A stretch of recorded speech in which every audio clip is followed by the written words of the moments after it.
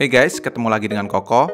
Kalau kamu lagi nyari laptop bisnis yang bukan cuma ngurusin kerjaan aja, tapi juga kaya akan fitur, laptop ini bisa banget jadi salah satu solusinya. Kenalin nih, ExpertBook Flip B5302 FA, di mana kali ini membawa layar OLED dengan bodi yang compact dan kaya akan fitur. Sebagai laptop yang diperuntukkan buat pebisnis, ExpertBook B5 Flip ini punya desain yang kesannya tuh minimalis. Desain logo Asus di tengah dan tulisan kecil ExpertBook di pojok atas dengan berbahan aluminium dan magnesium alloy untuk bagian palm rest tetap ngebuat ExpertBook Flip ini terasa enteng untuk kamu bawa bepergian. Dengan berat 1,24 kg plus power adapter ya kira-kira cuman 1,5 kg doang lah ya ini. Asli, ini enteng banget. Di bagian backcase bawah, kamu langsung bisa menemukan lubang-lubang sirkulasi udara untuk membuang panas dari laptop, dan dua buah speaker yang suaranya seperti ini.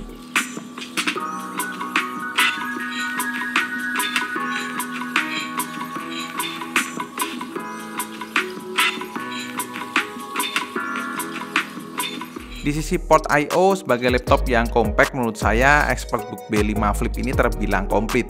Di sisi kanan ada tombol power yang juga berfungsi sebagai fingerprint, port combo audio, satu kali USB Type A 3.2 Gen 2, satu kali port HDMI, dan sebuah Kensington lock. Sedangkan sisi kiri ada dua buah port USB Type-C Thunderbolt 4 support power delivery, satu kali micro HDMI, dan lucunya ada volume button nih.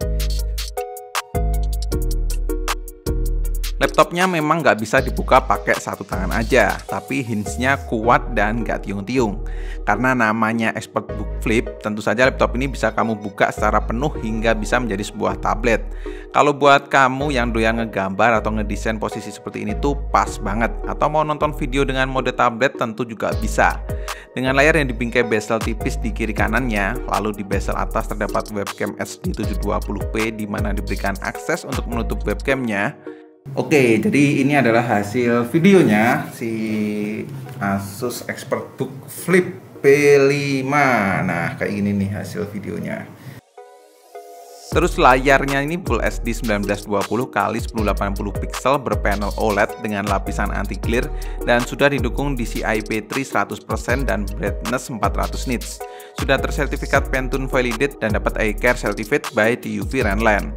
Secara penggunaan daily saya suka banget dengan layarnya, warnanya vivid, detailnya bagus, dan karena ada lapisan anti glare jadi kalau dipakai di bawah lampu tuh nggak mantul cahayanya. Sudut pandangnya juga lebar, dijamin puas lah kalau mau dipakai nonton anim kayak gini. Bonusnya nggak bikin mata cepat lelah berlama-lama di depan laptop. Di bawahnya terlihat sebuah keyboard yang lengkap dengan fungsional tombol, namun ada beberapa tombol yang berbeda tuh. Seperti di sini ada tombol shortcut ke My Asus, tombol mikrofon on off, dan sebuah tombol AI noise cancelling speaker. Yang paling menarik sih AI noise cancelling speakernya ya, di mana kamu bisa mendengar lawan bicaramu ngobrol dengan suara yang lebih jernih ketika dianya tuh baru di tempat keramaian. Nah lucunya kalau kamu lupa matiin si AI noise cancelling speakernya, ketika nonton video nanti suaranya jadi kayak timbul tenggelam gitu. Ini plastik boleh saya buka pak? Boleh ya. Yang di sini juga boleh. Yang ini enggak. Kalau untuk feel ngetiknya sendiri terbilang oke okay, karena travel case-nya cukup dalam. Jadi membalnya itu cukup memberikan pengalaman ngetik yang nyaman. Apalagi juga dilengkapi dengan LED backlit. Sedangkan untuk trackpad-nya dilengkapi dengan number pad yang seperti halnya kayak di laptop Asus lainnya. Sebuah fitur yang cuman kamu temuin di laptopnya Asus.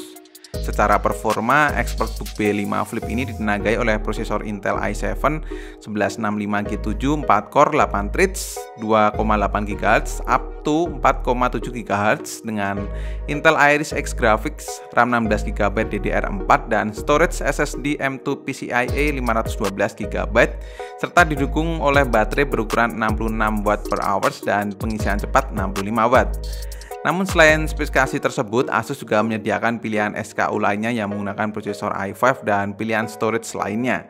Di ExpertBook B5 yang saya pegang ini, kamu masih bisa menambahkan memory card lagi sebesar 16 GB dan masih tersedia juga slot M2 masuk di pengetesan mulai dari Cinebench R15 saya bisa dapat OpenGL di 73,43 fps dengan 840 CB Terus di 3D Mark Time Spy skornya di 1202 dengan average 1500. Sedangkan di PC Mark 10 skornya di 4690. Di atas kertas dengan dapur pacu seperti itu, sekiranya kamu mau pakai laptop ini untuk produktivitas kerja sih sudah mumpuni. Seperti ketika untuk editing video 4K dengan sampel by Anjas tuh butuh waktu sekitar 12 menit untuk rendering. Lalu mau nge-sketch gambar bisa dilakukan dengan mudah berkat bantuan stylus yang tersedia di paket pembeliannya. Dan berkat baterai 66 watt per hour, saya masih bisa ngetik, browsing, nonton video, hingga sekali main game pun baterainya tahan sampai 8 jam lebih tuh. So, kesimpulannya laptop ini itu memang cocoknya dipakai buat bisnismen atau seorang expert. Di mana kamu di sini dimanjakan banget dengan fitur yang komplit, extra security, port yang komplit, mulai dari HDMI sampai Thunderbolt, numpad pun juga ada, body compact dan layar OLED yang manjain mata banget. Walaupun secara performa belum dikasih mentok banget, tapi itu bikin konsumsi dayanya lebih irit. Jadi kalau teman-teman tertarik bisa langsung cek link yang ada di kolom deskripsi ya. Dan cukup sekian video kali ini, semoga bermanfaat. Koko undur diri dan kita ketemu lagi di video selanjutnya.